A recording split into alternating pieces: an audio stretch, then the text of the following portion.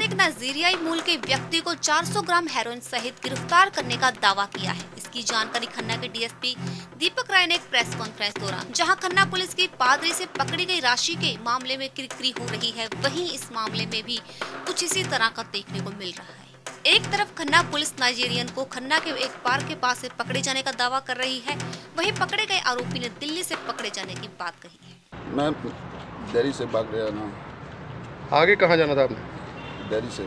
कितने टाइम से हो इंडिया में? मैं इंडिया में कितना टाइम से हो? मैं यहाँ पे शादी कर रहा ना मेरे पास बच्ची है। पासपोर्ट का वीज़ा है? मैं पासपोर्ट हो गया पहले से। पहली बार किससे आ रहे थे?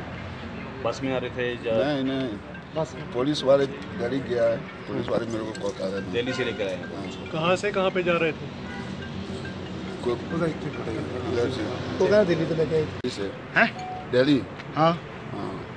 कहाँ से पकड़ा? दिल्ली कहाँ से? दिल्ली उत्तर नगर। वहाँ से लेकर आए? रहने वाला उत्तर नगर ना। वाला। दोस्त दोस्त के पास। तो हो।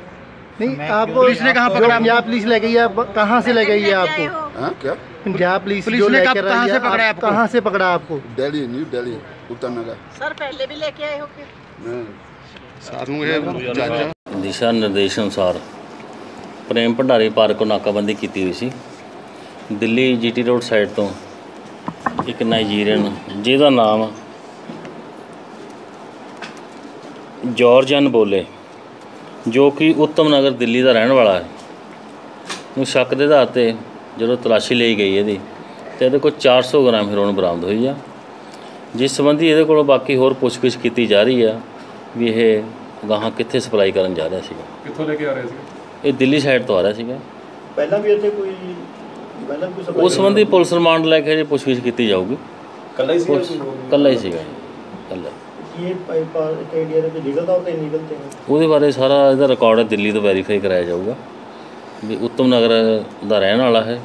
ਉਸ ਸੰਬੰਧਤ ਥਾਣੇ ਤੋਂ ਪੂਰੀ ਜਾਣਕਾਰੀ ਲੈ ਕੇ ਤੇ ਇਹਦਾ ਰਿਕਾਰਡ ਵੈਰੀਫਾਈ ਕੀਤਾ ਜਿਹੜੇ ਉਹ ਹਜੇ ਪੁਲਿਸ ਰਿਮਾਂਡ ਤੋਂ ਬਾਅਦ ਜੋ ਵੀ ਇਹਦੇ ਪੁੱਛਗਿੱਛ ਆਊਗਾ ਉਸ ਸੰਬੰਧੀ ਤੁਹਾਨੂੰ ਤੁਹਾਡੇ ਧਿਆਨ 'ਚ ਲਿਆਂਦਾ ਜਾਊਗਾ